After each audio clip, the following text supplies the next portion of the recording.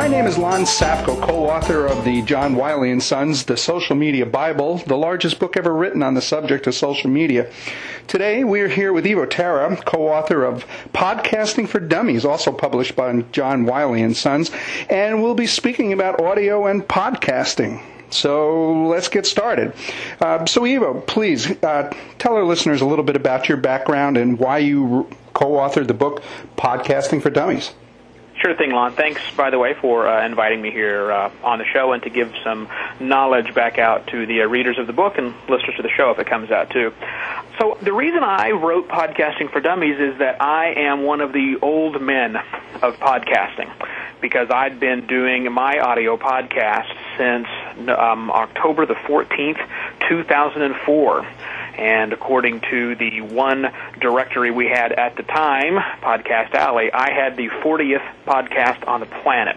Wow. So that means I got in at the ground floor with lots of other really smart people at the ground floor. But I was fortunate enough to have as one of my uh, connections a, a fellow author who had written a lot of fiction books, who had an agent who heard about podcasting and said, Can you write this book? Well, he knew he could write a book, but he knew he couldn't write a book about podcasting, but he knew me. and so together, his name was Tee Morris, by the way, we hashed out the necessary plans to get together and, uh, and craft uh, the, the, the most basic podcasting how to book, Podcasting for Dummies, which I'm happy to say is about to go into its second edition and all updated new content. Congratulations. And it is the most popular, number one selling how to uh, dummy you know, podcasting book uh, on the market. Wow, congratulations. That's totally cool. Thanks. Geez, wow. We got a, we got a star here. This is cool. Uh, the first question that everybody seems to ask when we talk about technical subjects is, what insights have you learned um, from your uh, your your background in, in doing podcasting? What tips would you give to the beginner? How do they start? Well, there's a lot of information out there about starting a podcast, and um, the the most common uh, word that's given out there is just start and figure it out as you go along. And that's and that's not bad advice for some hobbyist that just wants to play in the media, but for business people and for people that really want to get in and make a splash, you know, I, I suggest they take a different route. I, I didn't start podcasting was not my first introduction to audio production. Um, I've done what we took an internet radio show in 2002 that I was co-hosting and turned that into a uh, terrestrial syndicated radio show, mm. which also managed to get XM satellite syndication back in 2003. Wow. So my audio experience is a little longer than just simply podcasting. And that's enabled me to, to take a look at this new, oh, this new milieu, if you will, and say, you know, your audience might be looking for something a little different than what a podcaster is, is thinking about right away. And the very first thing I would suggest people do that are interested in this is do your homework. You know, find out if there are other people in the space that you're getting into most business people are not going to say, "Oh, I'll open up an ice cream stand." Without having at least some understanding of the ice cream market. You you have to know what you're getting yourself into. Even if you have no idea how to how to run an ice cream stand, you can at least find out what the business is. The same thing goes for podcasting. You can figure out what the competition, if you want to think about it as competition. I don't. I use the word because we all understand it. But if you at least understand what what is competing for people's time uh, inside of the the type of topic you would like to discuss inside of your podcast but also other sorts of media that are doing the same thing, just not in a podcast form, whether that's you know radio or whether it's an, an audio book. You know, understand what your listeners are likely to want to. Do your diligence. That, that, I hear two really uh, good points in there, and, and, of course, the first one is is to get out there and do a little bit of research and understand what's going on before you actually start doing it. And then the second thing I heard was is again kind of like the sports shoe slogan, "Just do it." Yeah. Okay. That's, that's exactly right. You know, just do it is, is a fine way to go through and do there, and but you know, just do it with a little bit of understanding of what the, what the marketplace looks like. That's great. That's really good advice. Of course, and the second question always is is that uh, especially for the beginners, what do they need to kind of watch out for? What are the misconceptions? What kind of pitfalls? Uh, how, what are the warnings? Well, you know, they're legion. I could go on for days on, on, on what not to do, uh, as, as I'm often reminded myself. You know, there's no one right way to do things, but there's lots of wrong ways hmm. uh, to do things, and there's there's lots of tips and advice books out there that'll that'll give you some suggestions. But one of the things that I think I would I would caution people about is that since we're talking about this user generated content of podcasting, amateur level people are getting into the space who haven't had a lot of experience. Uh, using the tools. Um, there's a lot of people out there who are advising that it's the content that's the most important, and I don't disagree with them. Mm-hmm. Content is king. You have to have something that's worth talking about that is interesting to people. However, I think that oftentimes comes uh, at the expense of quality. And in fact, I've heard more than one person suggest that you ought to not worry about the quality of the show because it's content that matters and, and, and other reasons of why, why the quality is not important. And I, and I just, I have to disagree. Um, and I have to disagree for one reason. I know how easy it is to make your podcast sound professional the tools that are out there today that everybody has access to. You don't need a $50,000 microphone and studio setup to make yourself sound fantastic. You don't need to go out and buy $6,000 pieces of software so that you can edit things properly. You can do it all with the basic tools, and the only thing you have to invest to make your podcast sound better than it does today is time. Mm-hmm. Whether that's an extra 30 minutes or two hours, that's up to you. But there reaches a point where you you could go back to that document or that that uh, that that uh, audio file you've recorded, and you can make it better. You can do the tips and tricks to actually improve the quality, so that while you've got stellar content, you've also got stellar quality, and it just makes it so easy for new people to adopt what you're saying uh, into their normal everyday life. Could you mention a couple of the tools that we talked about when we got together last? Yeah, sure. The, the, there's there's a, quite a few tools out there. I recommend anybody starting out new in podcasting that, that they don't go out and spend crazy amounts of dollars. In fact, you spend as little as possible. Uh, download Audacity. Mm. It is a, a free software uh, audio recording program that works on both PCs and Macintosh systems. Amazing. And it is what I would estimate probably 50% of the podcasters still use today. I still use Audacity. Mm-hmm. It's free and it's simple and it does just about everything you're going to want to do at your level. Now, if you're an audio engineer, it's a different situation. You want to use a different tool set from that, yeah. but Audacity is wonderful. Um, let's see, that's your number one tool to do most of your work. There's another piece of tool, uh, equipment that I like to use called the Levelator, mm-hmm. and it's some free software that you run your spoken word audio through, and it magically and I don't mind using the word because I've seen this tool work and I use it every day myself. It magically brings up your audio levels to a fantastic level. It's not a perfect tool. There are plenty of engineers who don't like to use it, but my recommendation to all new people and all podcasters today is if you're not using the levelator and you don't have a good excuse why you're not using the levelator, then you really should be using the levelator. It's amazing what it can actually do to your sound those are pretty good tools. And again, uh, the wonderful thing about social media is almost everything is completely free, and the only investment that you really have to make is time. That's exactly right. A bass recording of you, maybe a partner, um, you know, you, you can get away with that with, with little or no investment. Definitely for an individual podcaster, it's really simple. Now, there are some specialty tools which come into play if you want to record telephone conversations, or maybe you want to buy a, a, library of, of, of pre-licensed music so that you don't sound like everybody else describing the free stuff. There are those investments to make, but if it's your first time doing it, don't. Mm-hmm. Don't invest any additional money. Your computer already has set up what probably what you need to do to get started. Even with a cheap five dollar microphone that it came with, I know many people who started out that way who once they figured out what they wanted to do, eventually graduated to, to bigger and better equipment. But start off with spending next to nothing. And the other point that you made in there was really awesome, and I didn't even realize it. Actually, you corrected me uh, the last time that we were together, and that is um, I, most people are under the impression that social media productions, whether it's podcasting or video, uh, needs to have that homebrew feel to it. Otherwise, it's implied that there's a corporate sponsor hiding some kind of a corporate message. And maybe that was true early on, but I think you're absolutely right. I agree that uh, you people are also getting to a level of sophistication that they're expecting a certain quality even in the homebrew versions. That's very true. You know, quality has become important even though people don't recognize it and realize it. I think what's becoming more easily to discern from the podcast listeners as they have matured over the last four years is the issue of authenticity. Mm. And I think you may be right. Early on in the process, if something sounded really slick and polished, you started wondering, what's the underlying yeah. agenda? What corporate underwriting sponsorship has happened here? But I think consumers are becoming a lot more educated in that now. They're a little more sophisticated, and they're able to really get down to the message. You don't need, if your goal is to try and sound like the guy who does the 10 o'clock news, that's going to fail miserably. Mm-hmm. You hmm. know why? That's a terrible delivery. They have to do that in a certain way because they've got a certain amount of time to get people before you get to bed and yeah. drag you along. That's why they put the weather weather at the end. You know, you don't have to do that kind of stuff. But what you should be doing is going through with a tool like Audacity, cutting out the ums and the ahs and the really long dead space and the place where your cell phone rang and the dogs barked in the background. There's no reason not to stop, back up, and just make that sound better. Don't sound fake. Be authentic, but make it sound great.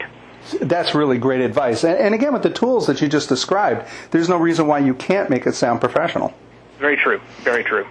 The uh, one other question that always comes up is, uh, again, based on your experience, what success stories can you share with us to inspire the beginner podcaster uh, that has kind of a business slant?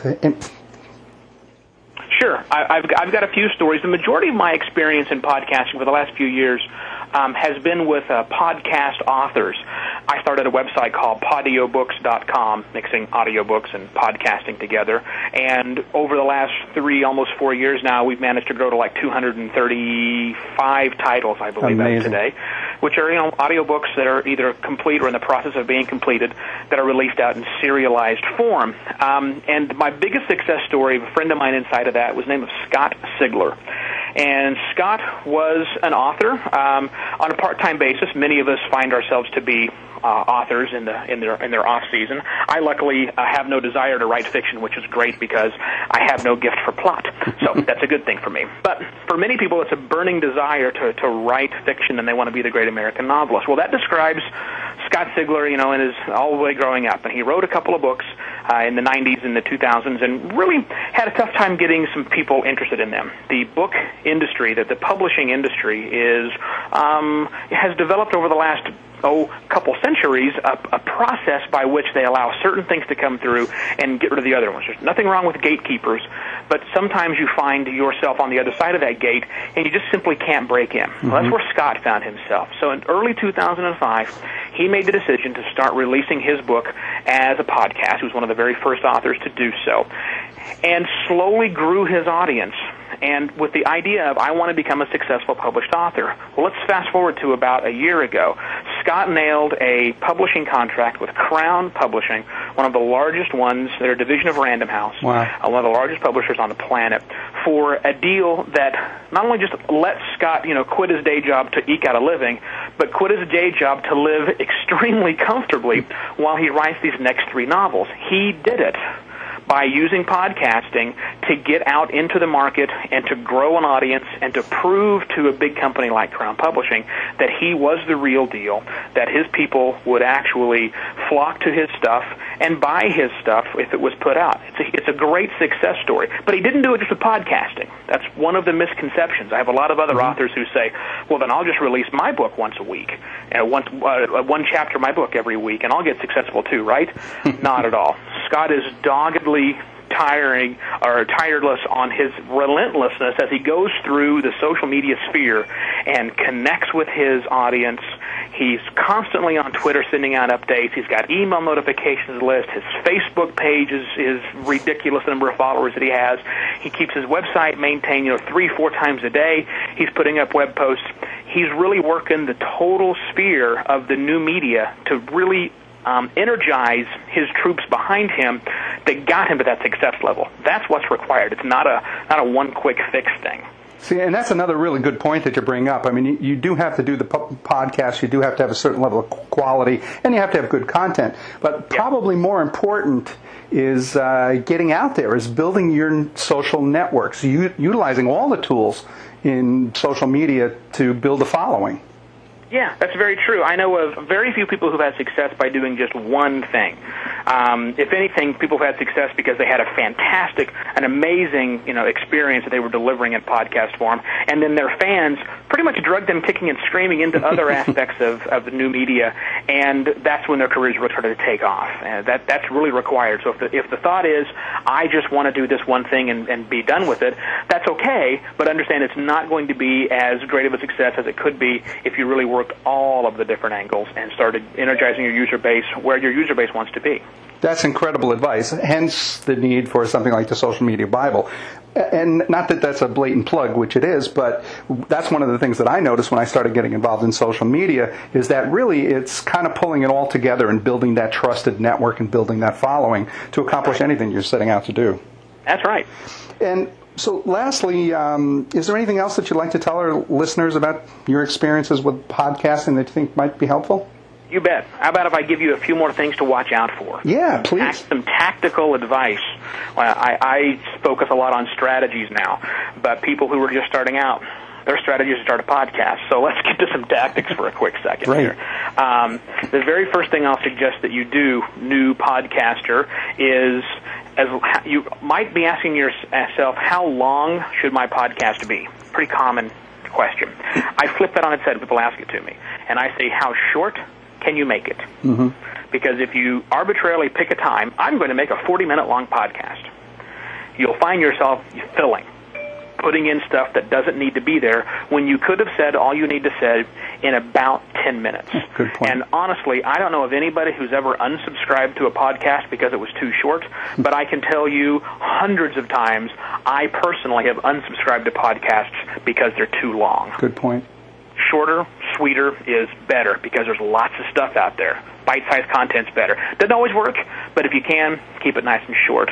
Um, second thing, when you're doing your editing of your show, not necessarily when you're recording it, although it's how I do it, but when you're editing your show, please use headphones.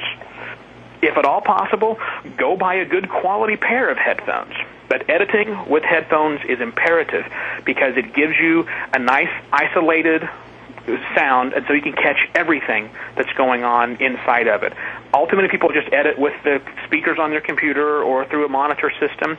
That's not how most people listen. Most people listen to podcasts with their headphones or their earbuds plugged inside of their ears. I know I do, and I do it a lot of times when I'm driving or I'm commuting somewhere. Mm-hmm. And once you start figuring this out, the little nice subtleties of, of, of audio changes you put in there are going to be completely lost when somebody's on a subway trying to listen to what you have to say or driving down the road with their car tops open. So make sure it's nice and loud, but definitely edit with your headphones on. Final piece of advice, Lon. Yeah. Validation. Not personal validation to make sure you're all good and fine, yeah. but validate your content. All too many people think all I've got to do is get an MP3 file, stick it through something like FeedBurner, and everything is fine and good. It's not if you're going to go through the effort and truly wanting to grab an audience, then you owe it to yourself to make sure that your MP3 file itself is perfect all the way through, that all of your ID3 tagging, that's something that describes the MP3 files to people's podcatchers and uh, audio players on their site, make sure those are filled out and you understand why you're filling things out that way. And the most important piece of that is for your RSS feed, that which distributes your audio file out to the masses who have subscribed to you, you have to make sure that that is perfectly validated. There's free tools out there. Feedvalidator.org is one of them. Drop your feed in. Make sure that there's no problem because you may have the best product out there and wonder why nobody's listening. Maybe it's because they don't know what it is, or they can't find it, or it breaks their podcatcher iTunes when they plug it inside of there. That's a really good point because the first time I podcasted, I generated all these different podcasts, and I started getting emails from people saying that they couldn't listen to it on their iPod, they couldn't transfer it in, and yep. it pretty much rendered it useless. Yeah. That's a really yeah that's a lot of effort to go through to have somebody go, you know, I, I can't listen. So, you know, that back in the in the wild wild west times of 04, we figured all this stuff out. It's readily available information on exactly how you should encode, exactly how you should tag, and exactly what the format of your XML RSS feed should be. Follow those directions to the letter. And some of that information's in Podcasting for Dummies. You bet it is. Ha! That's what I like. One stop shop. This, Evo, thank you so very much for being here today and sharing those tips. Uh, every time I talk to you, I learn something new. I really appreciate it.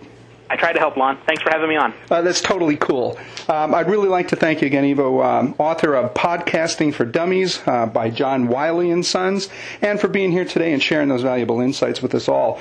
This has been Lon Safko, the co-author of the Social Media Bible. Be sure to check out other valuable social media tactics, tools, and strategies that can be found at the Social Media Bible book and the companion website, www.thesocialmediabible.com.